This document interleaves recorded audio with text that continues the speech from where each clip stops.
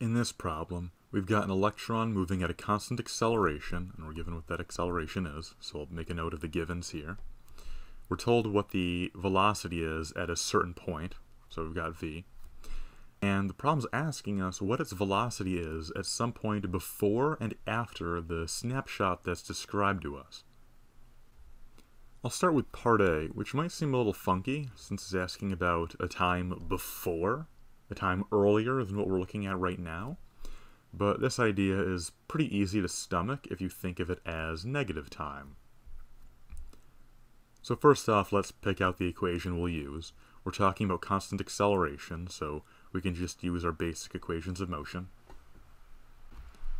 So these three right here. And I'll go with this top one, because it's simple enough, has both velocities, has acceleration, and has time, so it's got all the things we need. And let's say the velocity given to us, 9.6 meters per second, is the initial velocity in this case. So we're looking for some velocity at some point before and afterwards. So if our, if our initial velocity is 9.6 meters per second, and the acceleration is given to us 3.2 meters per second squared, and we're talking about a time earlier, then we can take 2.5 seconds and make it negative and this will give us the this will give us information about the time before the snapshot we're given.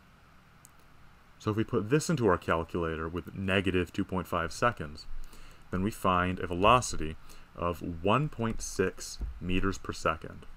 So that is the velocity of the particle uh, 2.5 seconds before its velocity is 9.6.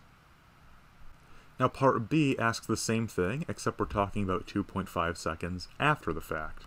So we'll use the exact same formula, except the only difference is that when we get to time, it's not going to be negative, since we're talking about time moving positively, time moving uh, forward. So that's positive 2.5 seconds, and we plug this into our calculator, and we get 18 meters per second. So the only thing that changed was the lack of that negative sign, and it was enough to give us information about the future. So that's all for this problem. I hope it helped you out. If you have any questions, please leave a comment down below.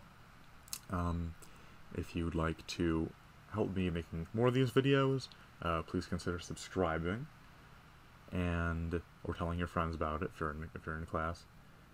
And yeah, I've got a Discord server link down below where you can message me if you have requests for future videos you'd like me to do.